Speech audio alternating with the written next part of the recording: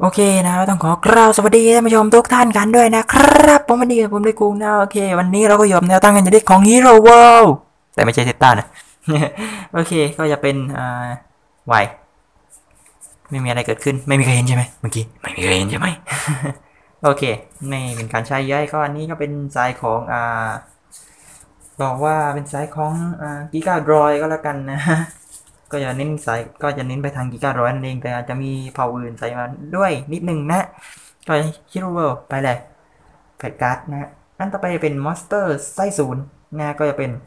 เรามีสงครามรีพอร์ติ้งนะผมใส่มาเพื่ออะไรก็ไม่รู้นะ ให้เป็นเบรดแมชชีนก็พอนะฮะอันต่อไปจะเป็นรองกัปตันหน่วยไรเชนเจอร์ควิกคอนเน็ตอะไรวะควิกคอนเน็ตเอ็มเค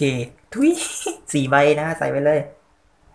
นะอันต่อไปก็จะเป็นนี่เลย Master ศูนย์ก็เป็น Mega Draw Shield นะครับผมใส่ไป4ใบนั่นเอง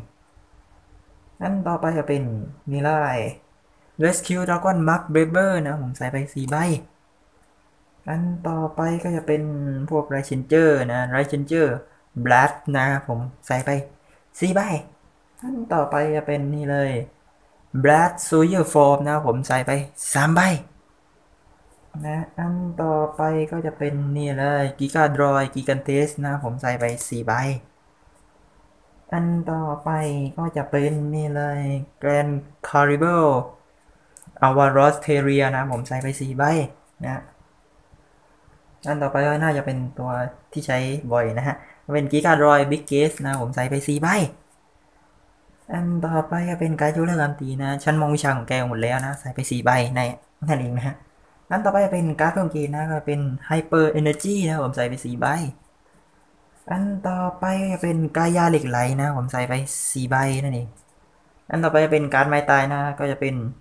Big Machine Slash Hammer นะ ผมใส่ไป4ใบ เนี่ยแค่เนี้ย ก็พวกไรเชนเจอร์พวกกวีสงครามนะ ใส่มาเพื่อให้มันเป็นอ่า Brave Machine ก็พอนะ แค่นั้นแหละ ใส่มาเพื่อเป็น Brave Machine แค่นั้นแหละนะ ก็เพื่อใช้ skill ของอ่าเนี่ยกิกาดรอยกิกันเทสนะเมื่อ